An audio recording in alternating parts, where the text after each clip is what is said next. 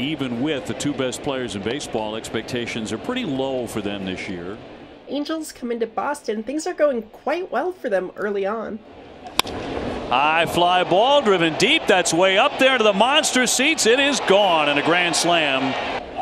And he's walked another man. He's just off today. Ohtani to the plate, and it's the elusive catcher's interference. Protecting there, and that should be catcher's interference. It is. But then Rendon grounds out to end the inning, and the luck turns around. And there's a hit into left field, and a nice start. Kike on to begin the eighth. Runner on at first, and nobody out indicates a bunt. Got a piece of it. And that one is hit into left field, driving back Ward onto the warning track, runs it down. Against the wall. This is a really nice swing. Oh, we got catcher's interference.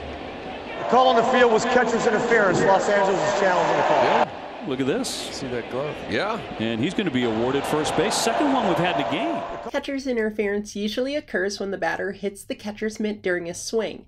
Batter is awarded first base. There are a few intricacies to the rule, such as the defensive manager getting to choose whether to take a default penalty or the result of the play. For instance, on a home run, you take the home run, obviously, ignore the interference.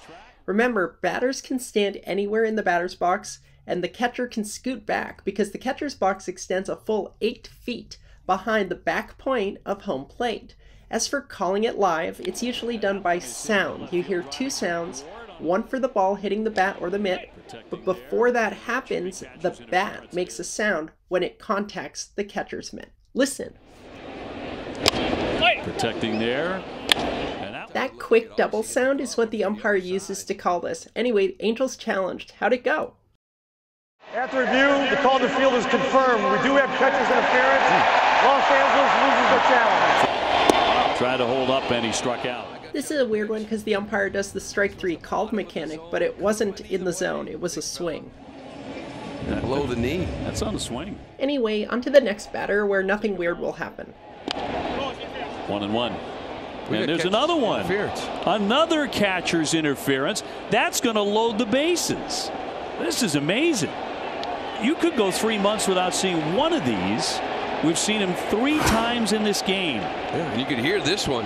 Look at that. That's a bad one. Ohtani on the other side, but wow, wow. Ground ball base hit through the hole.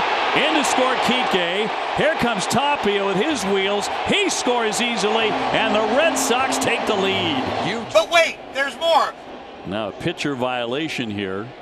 So that's going to be ball one. And that drills him. And that will load up the bases.